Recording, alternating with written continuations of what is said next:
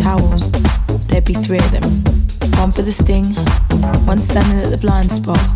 They'd agree on the location up front. The third would be checking for cameras in case they missed one on the stakeout.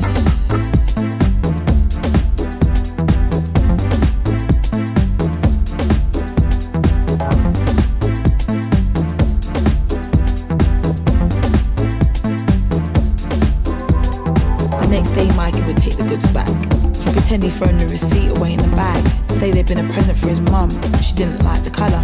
He'd end up with a credit note and then choose a CD player or a watch. Something nice from under the glass counter. Something he could get rid of easily later.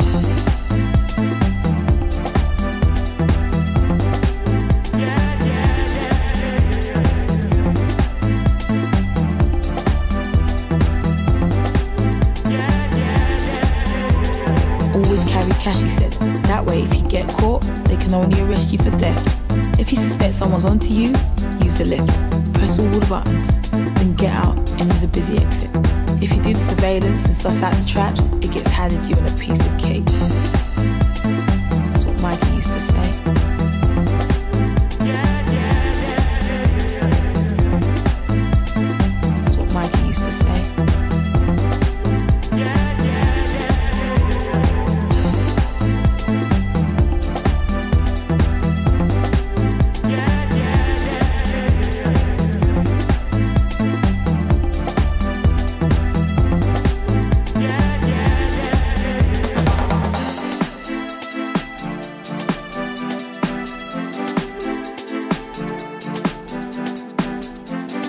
Different now.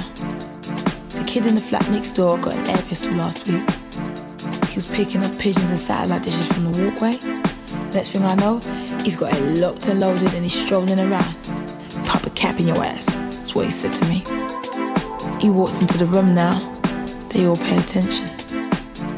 Must feel good with his chops and his shots. No longer just another kid from the blocks. No longer just another kid from the blocks. Must feel good with his chops and his shocks. No longer just another kid from the blocks. No longer just another kid from the blocks.